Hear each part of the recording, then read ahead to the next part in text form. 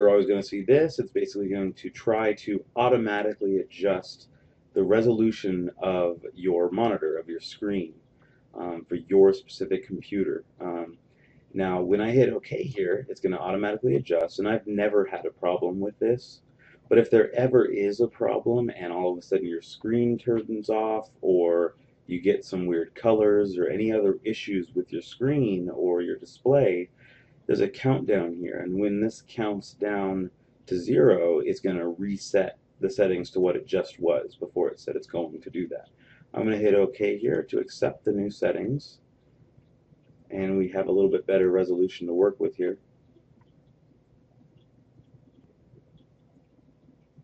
In this process, all of the, the whole install may be faster or slower on your computer.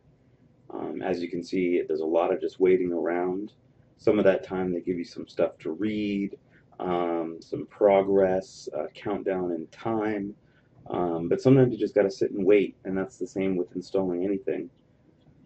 sometimes it's instantaneous. On a faster computer, it's going to be faster. On a different computer, it may be slower. So um, it's all different, so don't worry if it's taking a different amount of time. Now, if it's taking hours, then you have something something wrong going on with your computer.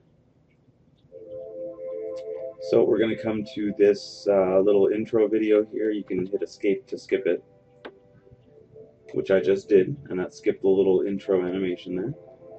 And we're going to come to the initial screen here. There's a little sound effect playing in the background you might be able to hear.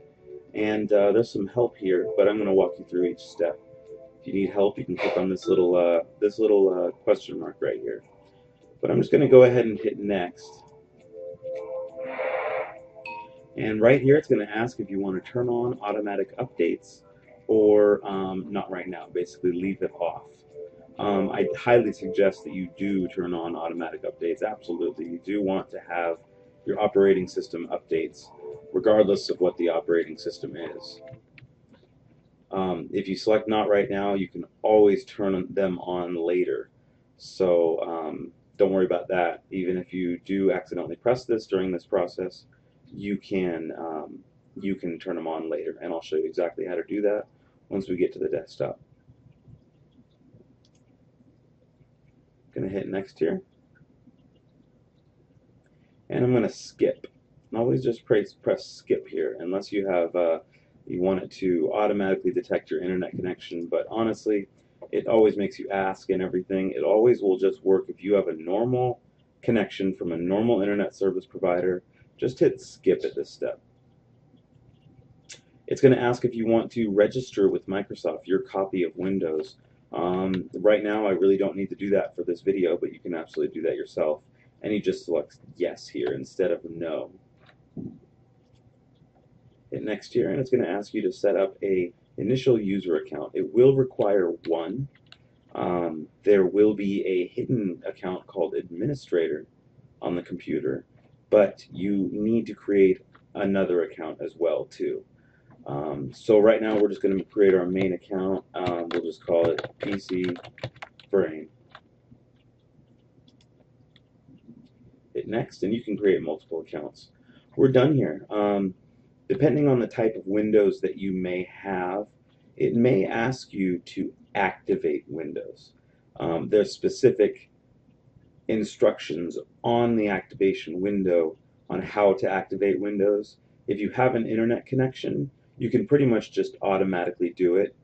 If you do not have an internet connection, you can call an 800 number given on that screen um, that would be here, and it will um, essentially just completely activate you automatically. It'll give you a code to enter um, in your telephone, literally, and it will uh, read you back a code that you enter into the computer um, on that screen, and it will activate Windows for you, assuming you have a licensed, valid license key. And now we're going to go to the desktop. It's going to log into that user account that we just created.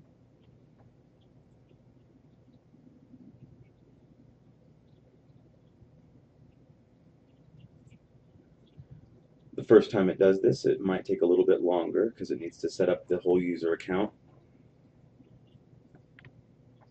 Okay, and we are into Windows. Looks familiar, doesn't it? Now this has gone from a clean installation right to the desktop, so you can see what we just installed. We just installed Windows. So remember how I was going to tell you about the automatic updates if you had selected no? What you can do, you actually automatically get it as long as you have Service Pack 2 version of Windows or above, which most people do.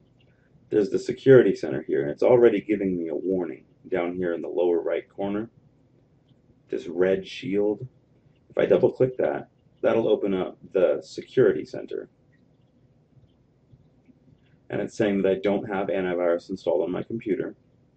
That's because I just installed Windows. I have no programs installed on the computer at all, besides the ones that come with Windows. Um, but right here, automatic updates, it's saying they're on because I selected on before. If I come down here, it gives you a little bit of information right there. And down here, you can change the automatic updates settings.